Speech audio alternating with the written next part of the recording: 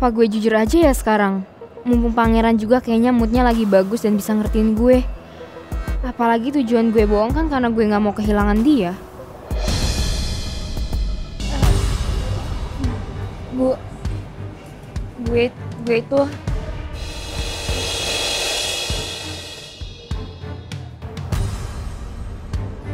gue sebenarnya Lu sebenarnya apa Mel? Lo tenang aja ya.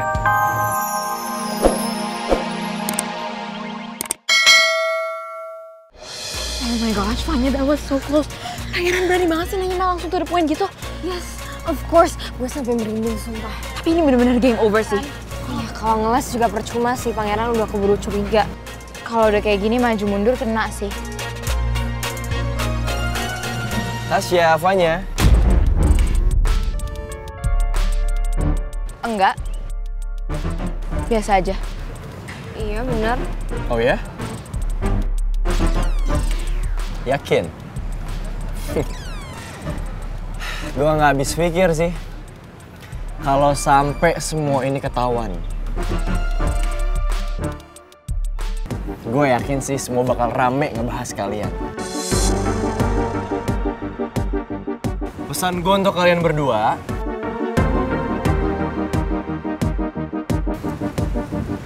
siap-siap ya jadi viral.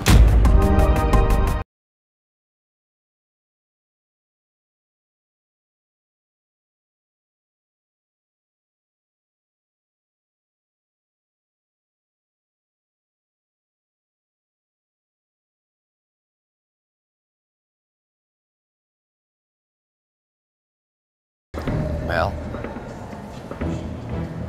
Lo santai aja ya. Lo gak usah tegang. Iya gimana gue mau santai? Lo aja ngomongnya kayak gitu. Lo jangan salah paham Mel. Gue kayak gini gue sama sekali gak maksa lo kok. Gue cuman pingin kita selesain masalah kita. Dan lo bisa jujur sama gue.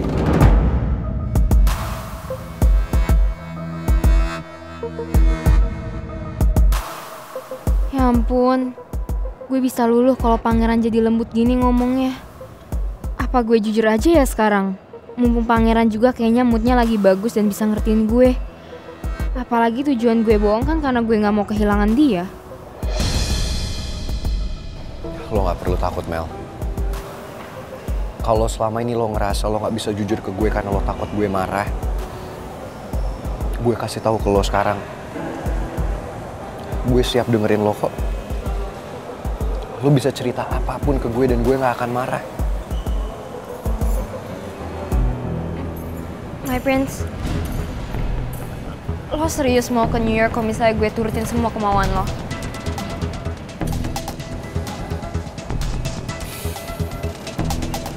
Yang gue minta sama lo, itu cuman lo jujur sama gue Mel. Lo gak perlu takut. Oh no, gue meleleh. Rasanya gue pengen jujur aja sekarang. Gue yakin, pangeran pasti mau maafin gue. Lo mau kan jujur sama gue?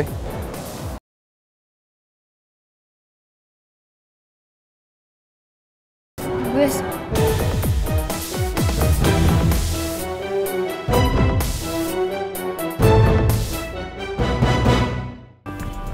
Aduh, Nonmel ke mana ya? Dari tadi kok nggak kelihatan. Dihubungi juga susah banget lagi.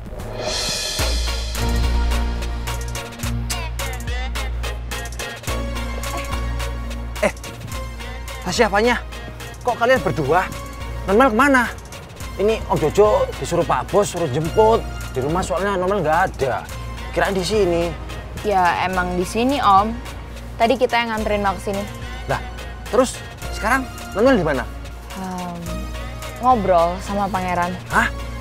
Ngobrol sama si muka playboy? Ngobrol apaan? Kayaknya sih kalau menurut aku masalah kebutuhannya itu Om. Hmm, bener, kita takut deh, takut pangeran maksa kalau Mel tuh nggak buta. Aduh, Om Jojo bayangin aja kalau pangeran sampai tahu. Kan bisa gawat Om Jojo, ini tuh bakal jadi kayak bom yang meledak merembet ke mana-mana. Tuh kawat ini.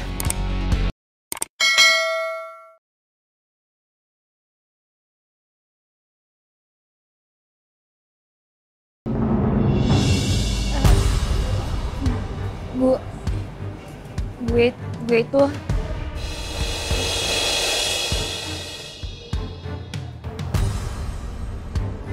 gue sebenarnya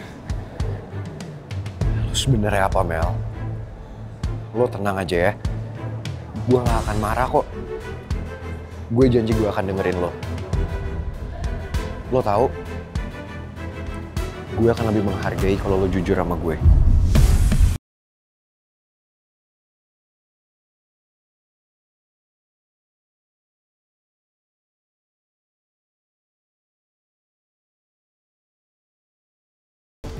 Gue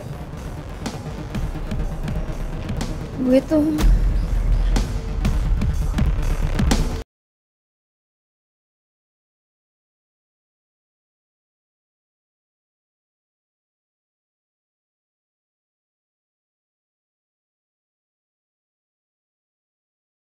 Ayo Mel.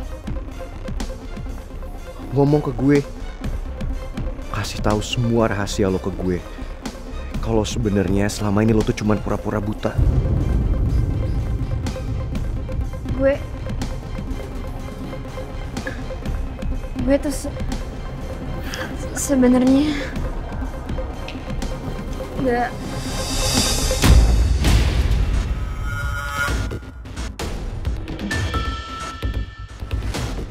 HP-nya jatuh ya? Jujur hati-hati dong. Kalau handphone saya rusak gimana? Alah, katanya orang kaya. HP jatuh aja bingung. Beli lagi dong, jangan kayak orang susah. Mel, ke mana aja sih? Om Jojo cariin malah ngobrol sama si muka playboy. Ayo balik. eh om Jojo udah tahu aku masih ada urusan di sini ngajak buru-buru aja udah ah Non, Mas suruh ke kantor. Ada yang mau diomongin penting. Ayo. om Jojo nggak mau mau ke mana sih udah tahu masih ada urusan di sini Ya, ayo ah. om Jojo ih di sini dulu ah sumpah om Jojo ganggu momen gue sama My Prince aja sih padahal ya tadi waktu yang pas banget buat gue ngaku ke My Prince soal kebutaan gue secara kan My Prince lagi kalem-kalemnya oh my god those eyes meleleh Udah, lama. Ayo, ah, buruan cepet. om Jojo ah Udah, yuk. Oh, Om Jojo, Om Jojo kan tahu aku susah ketemu sama pangeran. Nyariin dia ke mana-mana juga susah. Tadi sekalinya ketemu, Om Jojo langsung muncul narik aku kayak setan. Nyebelin banget tau gak sih ganggu. Sumpah kesel banget sama Om Jojo. Aduh, justru Om Jojo itu narik Non Mel karena Om Jojo itu mau nyelamatin Non Mel. Hello, Om Jojo. Aku tuh lagi sama my prince, lagi lovey-dovey. Om Jojo main narik-narik aja. Apa yang perlu diselamatin? Emang dia binatang buas? Ya Om Jojo tadi itu narik Non Mel karena perbuatan Non Mel itu membahayakan banget Non. Maksudnya apa sih Om Jojo? Ya, Om Jojo kan lihat sendiri tadi. Itu si muka playboy itu lagi mancing-mancing Non Mel, ngerayu-ngerayu. Untung aja Non Mel nggak kena tipu dayanya. Coba kalau kena, hmm, nggak tahu udah jadi apa. Hah? Om Jojo tahu dari mana? Situ, si Tasya sama Fanya bilang sama Om Jojo. Makanya Om Jojo cek. Eh bener, si muka playboy itu nyiapin HP-nya buat ngerekam pembicaraan Nonmel. Nonmel nggak tahu kan? Kayaknya nggak mungkin deh Om Jojo. Ya mana mungkin sih pangeran jebak aku? Paling orang-orang pada parno aja kali. Hmm, negatif thinking aja. Ya udah, kalau nggak percaya sama Om Jojo, terserah deh. Yang penting Om Jojo udah bilangin.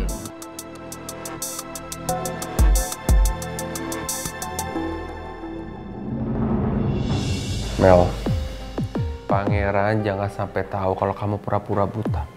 Kalau sampai pangeran tahu, nanti Pak Alek yang menuntut balik Dedi. Oke? Ya katanya Didi udah capek sama sandiwara aku yang pura-pura buta. Tapi giliran aku mau jujur, Didi nggak bolehin. Aneh. Iya, Dedi emang dukung kamu sudahi sandiwara kamu ini. Tapi kamu jangan gegabah, Mel. Nanti reputasi Dedi yang dirugikan. Oke? Kamu harus smart, smooth. Jangan jangan gegabah lah pokoknya ya. Ya Om Jojo juga sih pakai ngadu segala ke Dedi. Jadinya ribet kan kayak gini. Awas ya Om Jojo ya. Kalau abis ini pangeran ngejauhin aku, aku suruh Om Jojo tanggung jawab. Hehehe, harusnya kamu terima kasih sama Jojo. Kalau nggak kamu udah dijebak sama pangeran dengan rayuannya. Kamu sih bucin banget ke pangeran. Untuk apa sih? Loh, kok Dedi tahu kata-kata bucin sih? Dari mana? tahu kelas. Eh. Kalau Daddy kan juga bucin with my rose. Ih, jangan genit ah. Udah lah, daripada pusing mikirin itu, lebih baik aku dengerin musik.